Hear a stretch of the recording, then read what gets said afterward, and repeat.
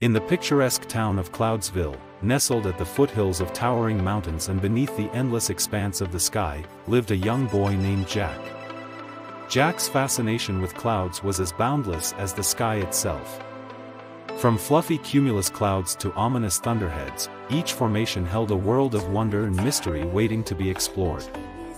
One breezy morning, as Jack gazed up at the shifting patterns of the clouds, he felt an irresistible pull to unravel the secrets of the sky. With a determined gleam in his eye, Jack embarked on a journey to study the science of meteorology and unlock the mysteries of weather.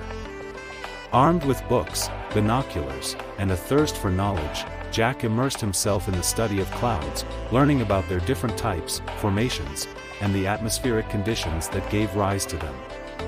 He spent countless hours observing the skies, noting the subtle changes in cloud patterns and the telltale signs of approaching storms. But Jack's journey was not without its challenges. As he delved deeper into the world of meteorology, he found himself facing natural disasters and extreme weather conditions that put his flying skills to the test. From fierce thunderstorms to turbulent winds, each new challenge pushed Jack to the limits of his abilities. Undeterred by the dangers that lay ahead, Jack pressed on, determined to conquer his fears and master the art of navigating the skies safely.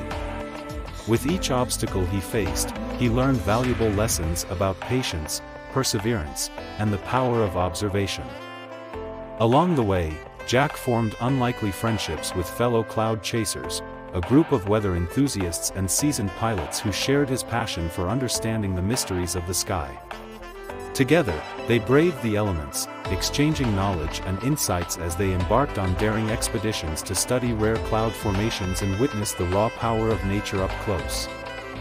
Through observation and experimentation, Jack gained a deeper appreciation for the wonders of nature and the delicate balance that governed the world around him.